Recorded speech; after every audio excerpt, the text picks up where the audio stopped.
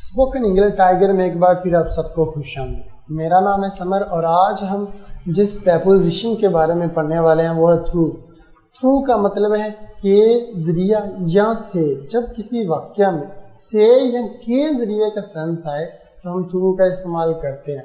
Through through का इस्तेमाल दो तरह के वाक्य में किया जाता है। जब किसी चीज़ के आर पार देखना हो, किसी चीज़ के आर पार झांकना हो तो हम थ्रू का इस्तेमाल करते हैं। या किसी चीज़ से गुजरना हो, जैसे सड़क से या किसी गली से गुजरना हो तो थ्रू का इस्तेमाल किया जाता है।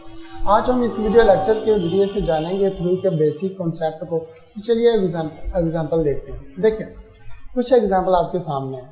मैं खिड़की से तुम्हें देख सकता हूँ। खिड़की से मतलब तुम्हें खिड़की से झाँक सकता हूँ, देख सकता हूँ।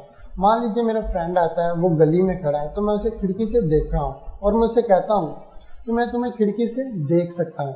I can see you through the window उसने मुझे इस छेद से देखा। छेद है किसी दीवार में।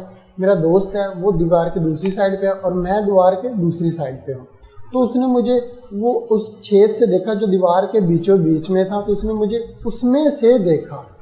He saw me through this hole मैं गली से गुजर रहा था। मैंने आपको बताया ना कि किसी गली से या किसी सड़क से जब हम गुजरते हैं तो तब हम थ्रू का इस्तेमाल कर सकते हैं। या कोई और चीज़ है, वो किसी चीज़ में से गुजर रही है तो तब भी हम थ्रू का इस्तेमाल कर सकते हैं।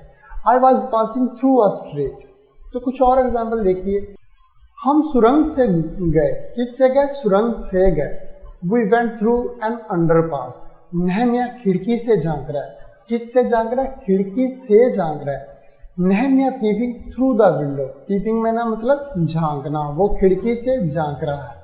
पानी इस पाइप से गुजरा। जैसे हम गली से गुजरे थे तो पानी भी गुजरा है। किसके थ्रू? पा, पानी पाइप के थ्रू गुजर है। पानी पाइप के ज़रिए जा रहा है। Water pass through this pipe तो इस तरह से आपने देखा कि थ्रू का इस्तेमाल किस तरह से किया जाता है और किस तरह के सेंटेंस बनाए जा सकते हैं थ्रू का इस्तेमाल करके। तो अगर आपको किसी चीज़ की समझ नहीं आई तो वीडियो को एक बार फिर से देखिए ताकि आपका हर एक कंसेप्ट अच्छे से क्लियर हो जाए। तो मिलते हैं किसी अगले वीडियो लेक्चर में। प्रपोजिशन के साथ, तब तक के लिए खुदा हाफिज़, पाकिस्तान, जिंदाबाद।